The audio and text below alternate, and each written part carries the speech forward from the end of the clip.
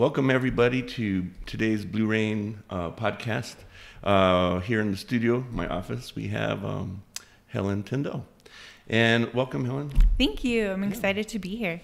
I thought it would be cool to visit with you and, and um, go over some things. Uh, wanted to say that uh, Helen is a, a, budding artist and uh, she comes from a long line of other artists, all the way from her great grandmother, her grandmother, her mother. A lot of influence in her life right there. Um, where did where were you born and where were you raised? I was born in Albuquerque. I grew up in Albuquerque. I lived there until 2009, until I was about 22. I did spend a lot of time coming up here to Santa Fe because my family participated in different booth shows and museum shows and gallery shows. And I also spent a lot of time at Santa Clara Pueblo when I was a kid. Helen is a descendant from uh, Santa Clara Pueblo. Um, and a lot of the uh, art that her family has generated revolves around traditional dances and and uh, ceremonies at the pueblo. Um, who's the biggest influence in your career so far of your family? Of my family, yeah. I would say that's a tie between my parents. I learned a lot from both of them. Um, my dad, Greg, is a fine art picture framer and he does custom finishes. And I spent a lot of time in his shop. So I was watching the frame process, which is very involved from milling the wood to custom finishes with gilding and lacquers and toning. And then also my mom. I think my mom had a big influence on my creative process and really teaching me to be loose and excited about where I was going with my art. Wow, wonderful. Um, yeah, I've, I've known your dad and your mom for many years. Um, I think when we were in Taos, we actually represented your mom for about four or five years. Mm-hmm. Um, and before she took off to, I don't know, Ventana Gallery. Yes. And, and then uh, ended up with her own gallery and a very successful career. I, I remember watching uh, your mom's early work, and it seemed more like doodly. Mm-hmm. And as as she got older and more developed, it got more refined, and things started popping up. Um, uh, definitely a character. Um, what about your your grandma Pablita? She was a big influence on me as a person. Her she painted in her studio kind of by herself. She had her TV on and she was painting and it was very serious. And art wasn't something where they give kids a piece of paper and a paintbrush and they say, do what you want to do. They say, those are my paintbrushes, don't mess them up. Mm-hmm. Um, so I was kind of, I like to watch her paint. I used to remember watching her make her paints. She would grind down earth and mix them with Elmer's glue to make her earth pigments. And I would watch her process as far as tracing and drawing and then starting the painting process so I could observe, but I never really participated. Uh, my grandma Pablita was a big influence as far as business minded sense. Um, as a kid, she would participate. When I was a kid, I would go with her to Indian Market and Eight Northern, and my grandma was the one who taught me how to sell art, and that I needed to not be afraid to talk to people and that there was this huge business sense behind every artist. And being an artist is a lot more than just creating art. So, in, in Pablita's case, um, in, in one of our podcasts with uh, Billy Schenck, uh, he brought up the fact that his work is, is studied by a lot of native artists. Mm-hmm. And we were talking about the fact that uh, it's flat art. And I was like, what do you mean? He's like, well, it's kind of traced stuff. And I go, that reminds me of uh, Helen when she went to her grandma Pablita's house and cleaned out the, the garage mm-hmm. and found all those those drawings that she used to replicate from. Yes. And so that's that's definitely a, a process. So what was the difference in her process from your grandma Helen Hardin? I think their process started out pretty similarly as far as having an idea and then putting it down preliminarily onto tracing paper or another piece of paper to refine the image and then transferring that image onto the surface that would become the painting mm-hmm. and then building layers from there. So they were very organized and methodical, and I think that's where you see the similarities.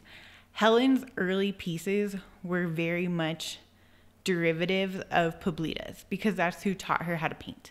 So there was the imagery was very similar, the styles, the spacing, even the mediums. Uh, Helen started in casein, which was Pablita's primary medium.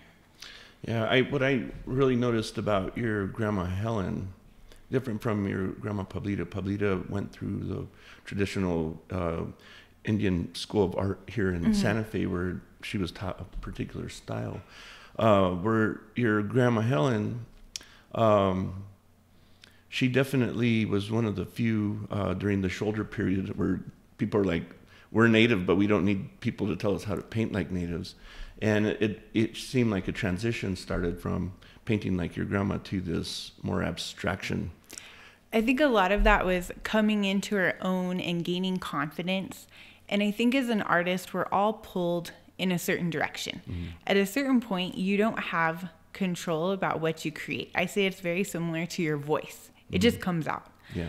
And Helen really learned to embrace that. And she wasn't a dogmatic person. She didn't feel this pressure from society to be who they expected her to be. She was very okay with groundbreaking, and she also lived in this world of duality. She was half Anglo and half Native. She was modern but very rooted in ancient traditions. Uh, she was very spiritual but very modern. And she was okay with all of that because that's who, what made her who she was. Mm-hmm. I, I, I, consider that uh, era like uh, a bunch of rock stars because you had like Tony Da and uh, you had Fritz Scholder, you had Gorman, you had this whole uh, new contingency of native art that just exploded, and it, it's. Uh, I think your grandma Helen was at the forefront of that explosion. She was definitely cool. a rock star. Yeah, yeah, definitely.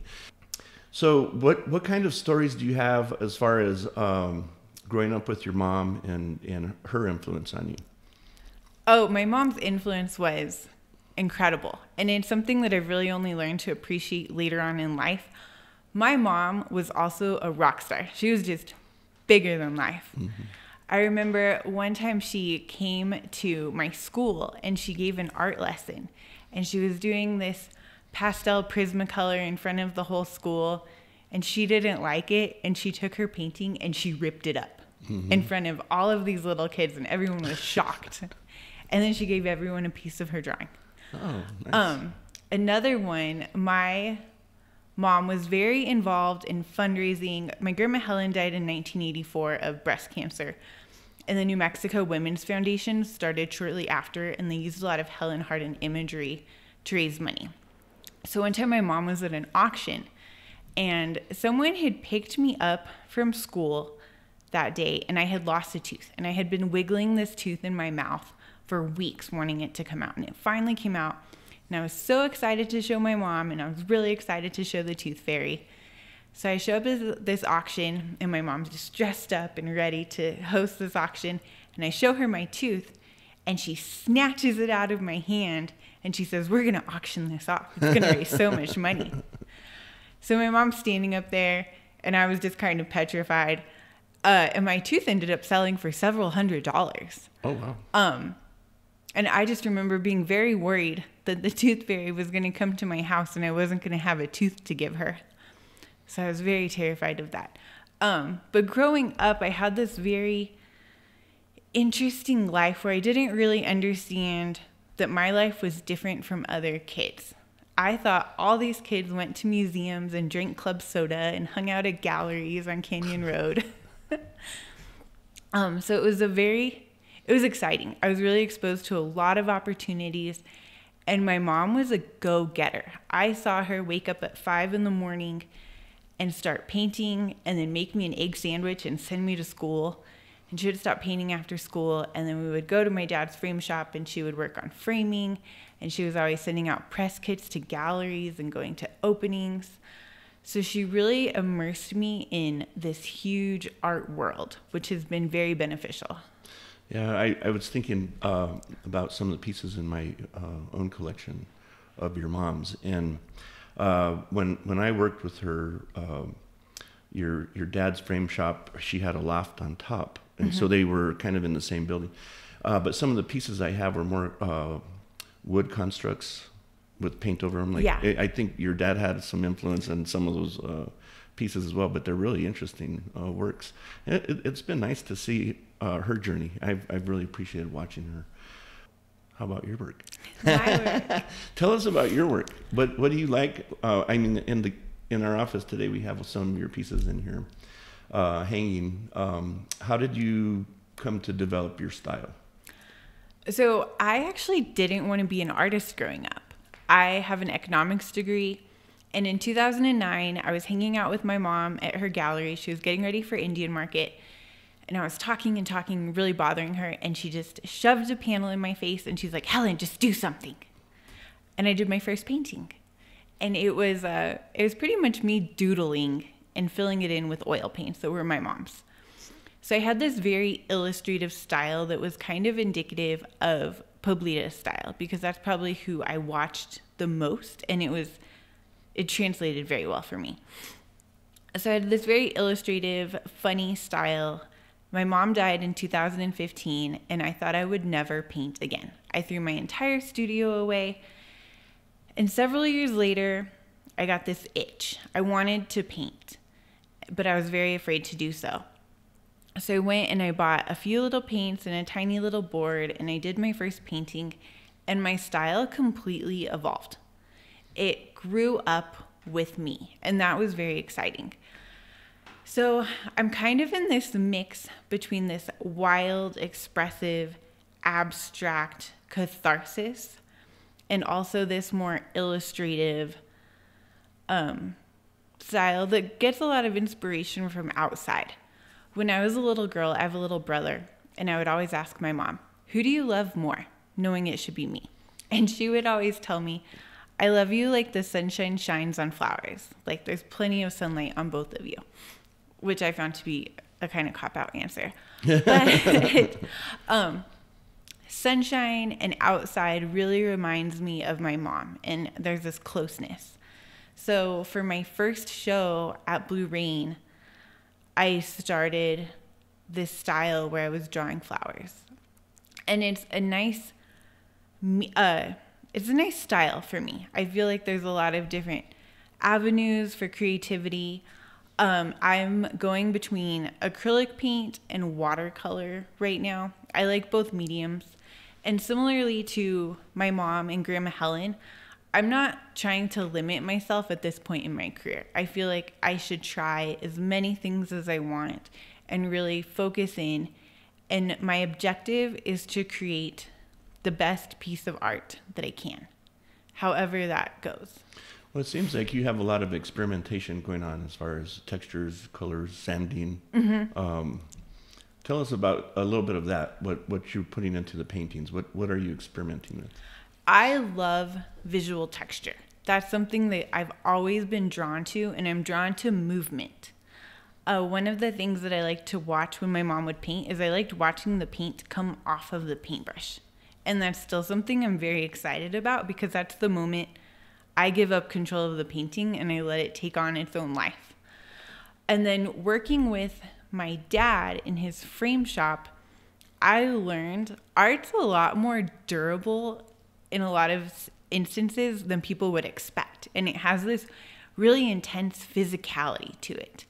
And I like to have a dialogue with my pieces. And sometimes that's me scratching into the painting and doing a sgraffito style. I also like to build up lots of layers of paint and play with different color combination and juxtapositions and then cover it up.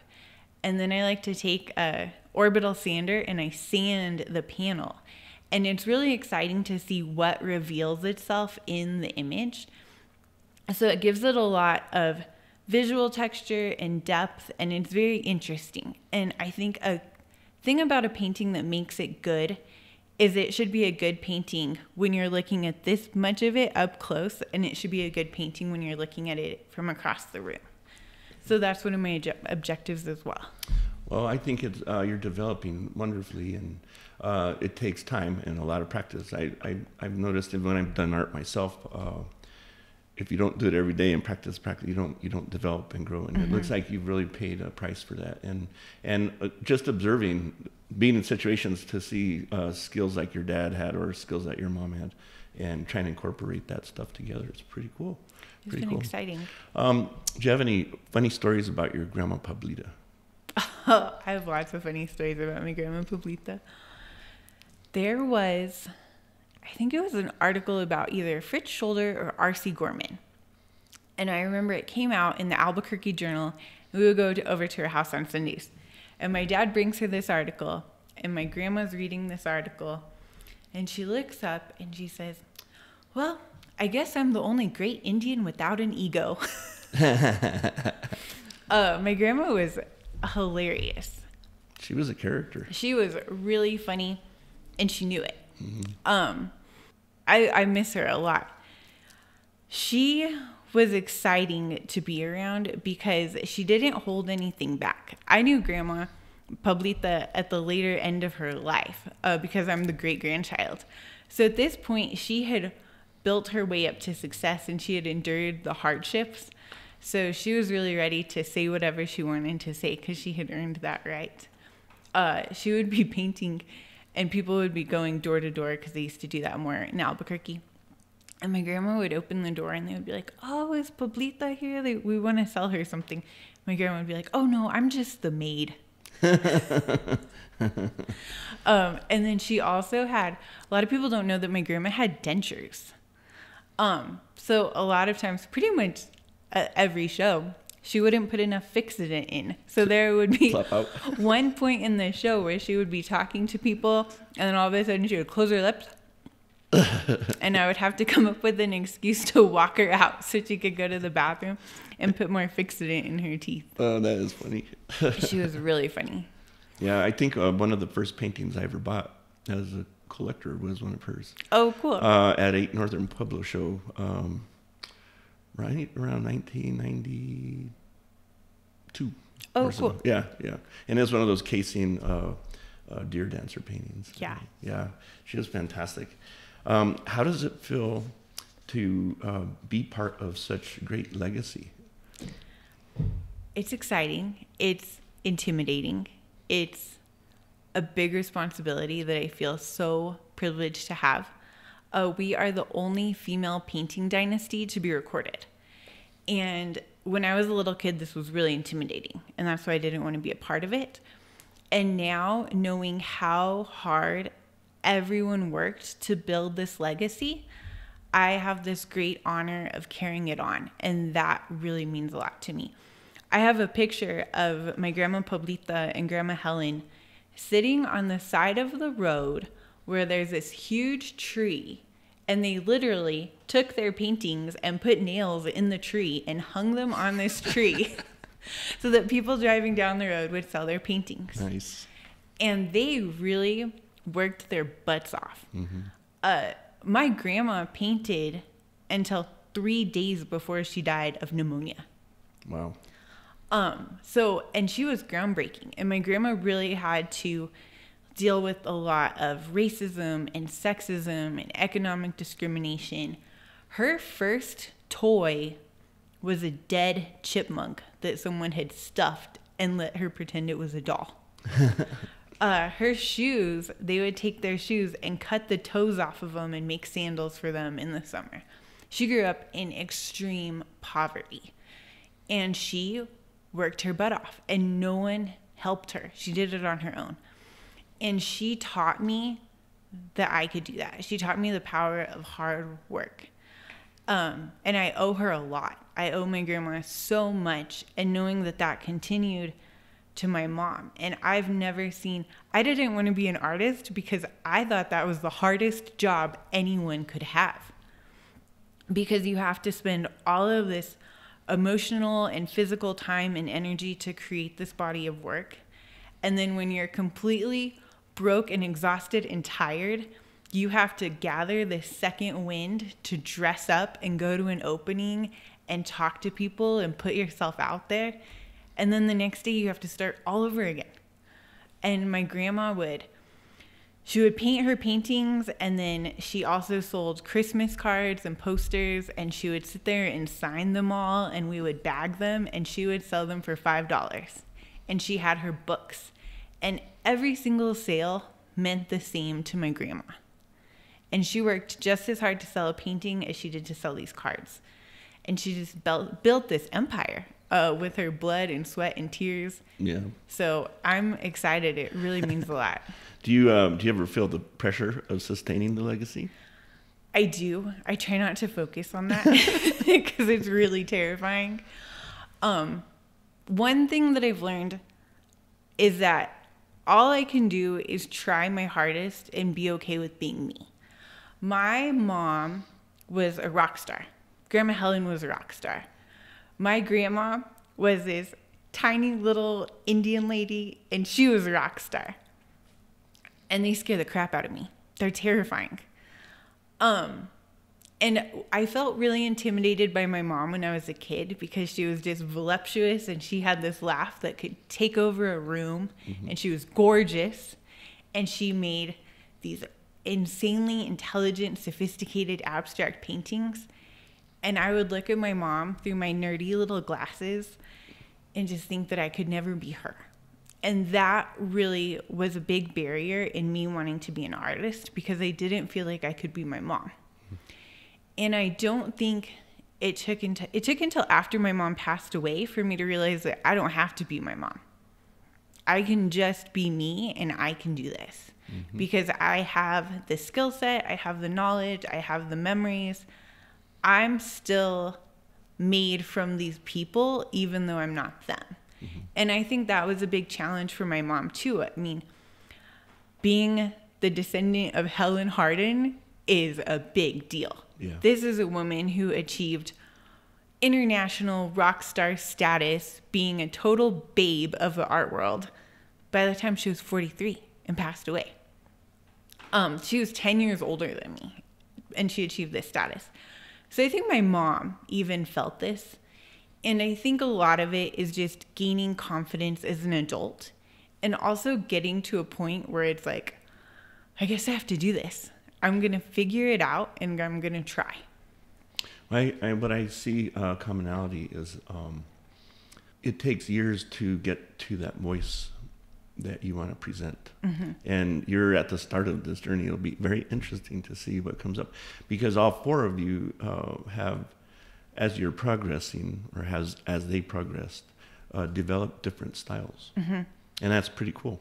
It's very cool, and it's mm-hmm. nice that everyone does have their own style because there's this level of independence, and the legacy would not have continued if it was all just this derivative dynasty. Yeah. And it really took each woman standing on her own and having a successful career and great art and a strong voice on her own to continue this legacy.